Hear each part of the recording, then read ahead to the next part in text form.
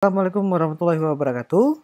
Baik, hari ini eh, saya akan berikan sedikit materi tentang Office, tapi ini adalah Office-nya untuk PowerPoint. Jadi pengertian dan fungsi-fungsi PowerPoint. Tapi sebelumnya jangan lupa Anda subscribe, like, and setelahnya Anda silahkan share ke mana pun supaya video ini juga bisa berbagi untuk yang lainnya. Baik, terima kasih semuanya eh, saya akan menjelaskan beberapa pengertian, sejarah, dan fungsi Microsoft PowerPoint beserta kelebihannya. Nah, eh, pengertian dan fungsi Microsoft PowerPoint. Jadi, eh, apa sih Microsoft PowerPoint itu? Gunanya untuk apa? Manfaatnya untuk apa? Mungkin orang yang masih awam dengan aplikasi ini banyak sekali bertanya-tanya bagaimana sih cara bikinnya, bagaimana sih cara buatnya, apa sih PowerPoint itu, dan sebagainya. Nah, pertanyaan ini sering sekali muncul uh, pada orang-orang yang awam, tapi mungkin bagi Anda yang sudah memahami, mengenal, mungkin kita akan coba lihat lebih dalam apa sih sebenarnya Microsoft PowerPoint ini. Nah, pengertian Microsoft PowerPoint adalah sebuah program aplikasi Microsoft Office yang berguna sebagai media presentasi dengan menggunakan beberapa slide. Jadi kita gunakan untuk mempresentasi supaya orang bisa melihat apa sih hasil karya kita, apa sih hasil yang akan kita tampilkan di dalam slide. Nah, aplikasi ini sangat digemari dan banyak sekali digunakan dalam berbagai kalangan baik itu pelajar, perkantoran, bisnis, pendidik, bahkan bahkan si trainer sendiri menggunakan aplikasi ini.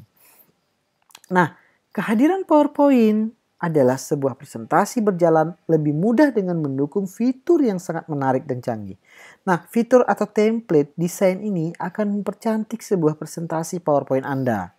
Nah, ada beberapa fungsi dan kegunaan Microsoft PowerPoint. Yang pertama adalah sarana untuk mempermudah sebuah presentasi.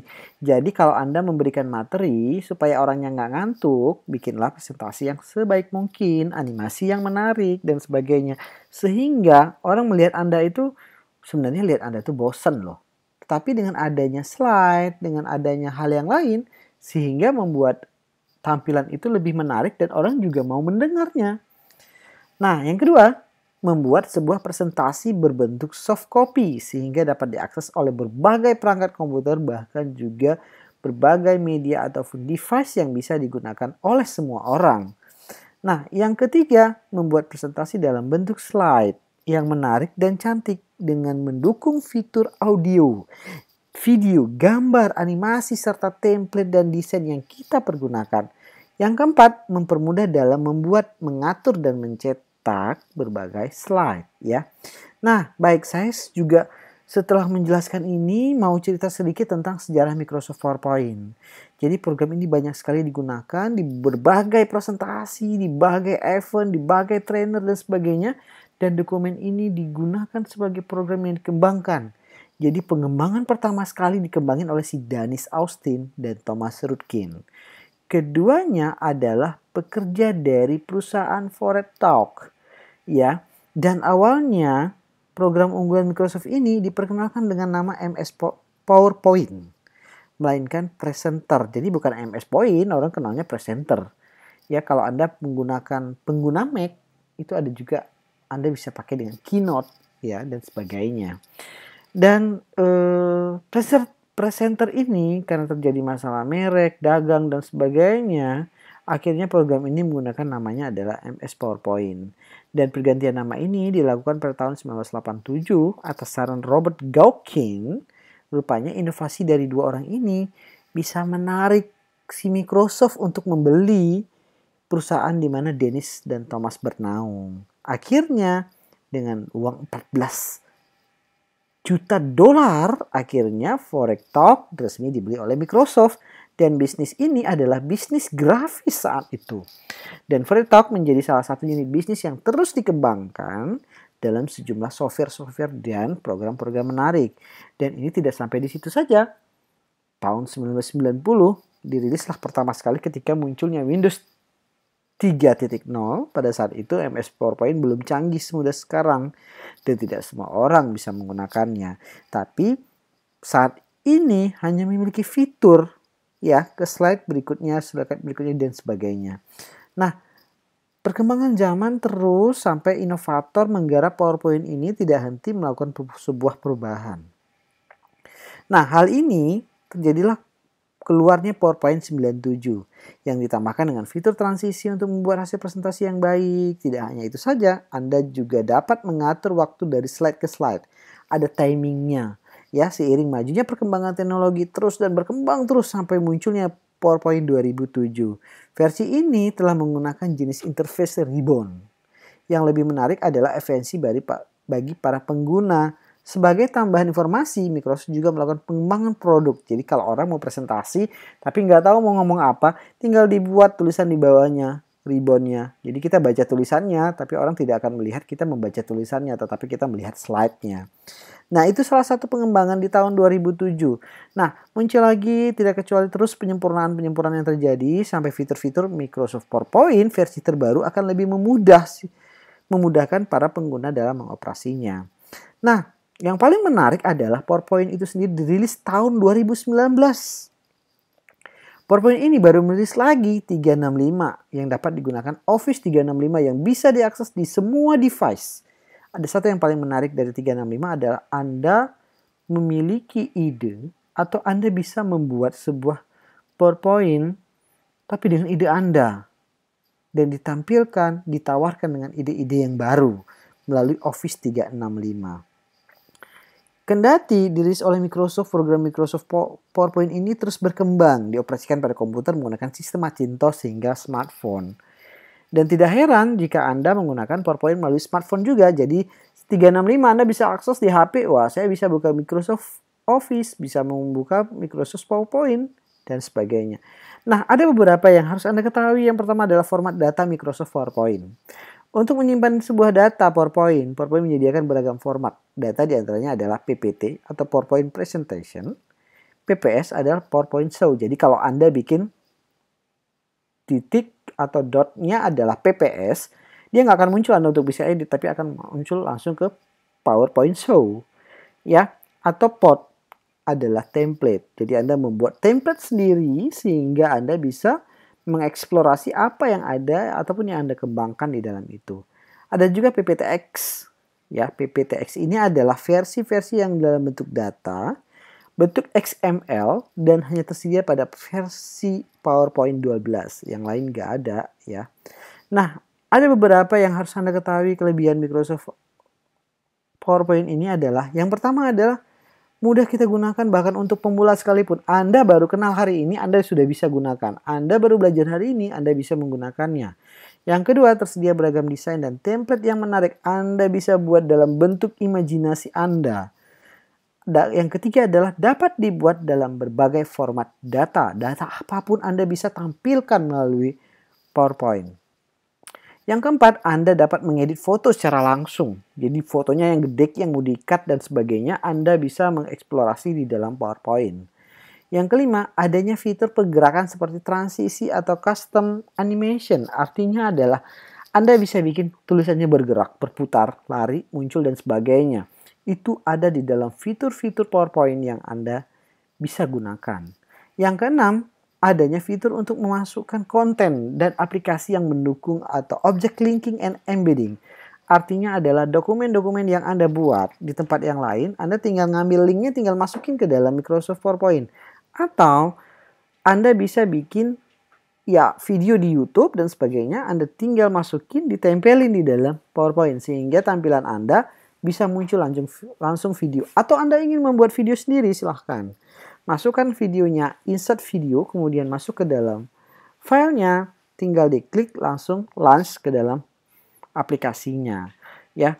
Dan ada beberapa kekurangan sih yang yang bisa kita lihat ya.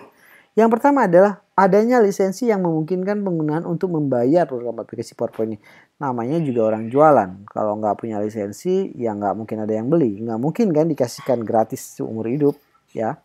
Yang kedua adalah presentasi dengan membutuhkan waktu persiapan yang cukup untuk menyita tenaga dan waktu.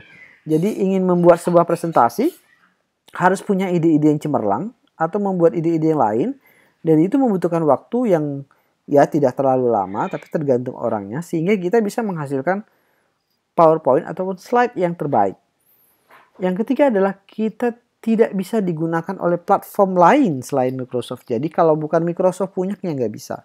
Tetapi ada kabar baiknya adalah Macintosh ataupun iOS produk Apple sudah membelinya. Jadi sehingga kita punya e, bisa menggunakannya dalam produk-produk iOS dan sekarang semua 365 memberikan semua akses yang paling besar semua device yang bisa menggunakan Microsoft PowerPoint ya. Versi PowerPoint yang satu yang tidak mendukung versi yang lain. Jadi banyak sekali versi lama tidak bisa kita gunakan ya kan belum sempurna pada versi baru atau sebaliknya. Makanya muncul error, dia minta install ulang dan sebagainya. Ujung-ujungnya adalah Anda harus membeli lisensi yang baru.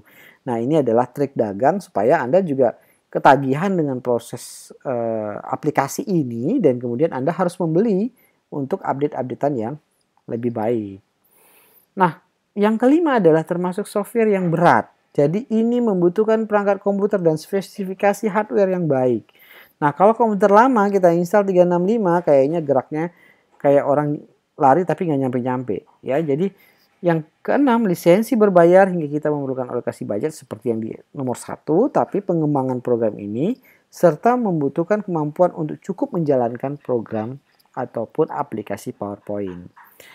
Nah, kendati itu, manfaat PowerPoint ini adalah termasuk salah satu mempermudah mempresentasikan, menampilkan sebuah dokumen, ternyata juga memiliki manfaat-manfaat lain. Yang pertama adalah membuat Anda meningkatkan kepercayaan diri. Jadi kalau Anda ngomong doang, kemudian Anda punya slide, Anda juga bingung nih selanjutnya nextnya apa. Jadi bisa membuat kepercayaan diri Anda sehingga Anda bisa lebih up ya. Dan ini adalah e, dilansir juga di halaman resmi milik Office PowerPoint yang memang dibuat khusus untuk kita memiliki kepercayaan diri yang lebih. Ya, jadi terutama dalam menjelaskan setiap hasil pada slide dan juga menggunakan fitur presenter view yang sudah ditanamkan di dalam PowerPoint versi 2016 dan terbaru dan juga menguasai bahan-bahan yang disampaikan kepada si audiens.